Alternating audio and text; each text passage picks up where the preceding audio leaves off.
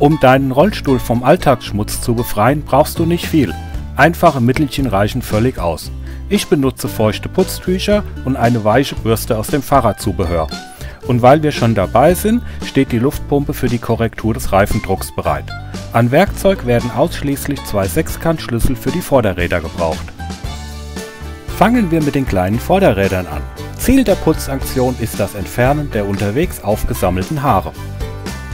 Zum Abschrauben der kleinen Vorderräder nimmst du zwei passende Sechskantschlüssel und löst die Schrauben rechts und links von der Achse.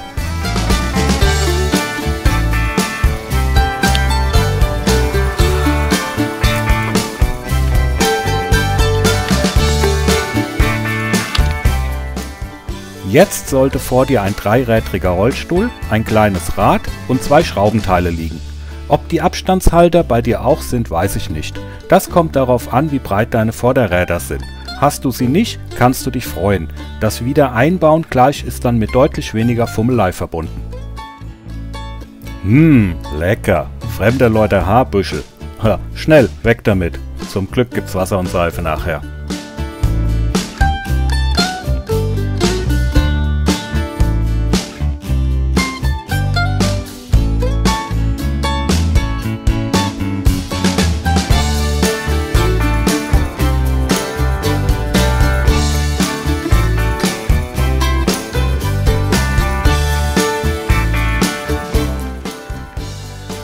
Auf drei Rädern fährt es sich schlecht, hat man mir gesagt. Deswegen bauen wir das Vorderrad einfach wieder ein. Rad einlegen, wenn vorhanden den Abstandshalter dazwischen klemmen und mit der Schraube fixieren. Dann den Abstandshalter auf der anderen Seite dran, Schraube rein und die ganze Geschichte mit den Sechskantschlüsseln festziehen.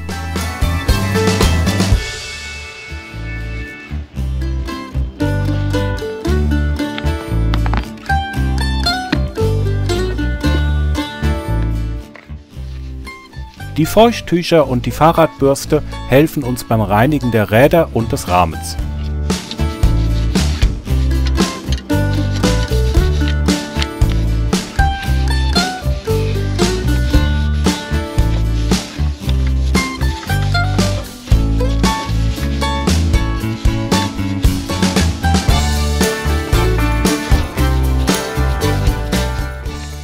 Luftgefüllte Hinterreifen wollen regelmäßig auf genügend Luftdruck überprüft werden.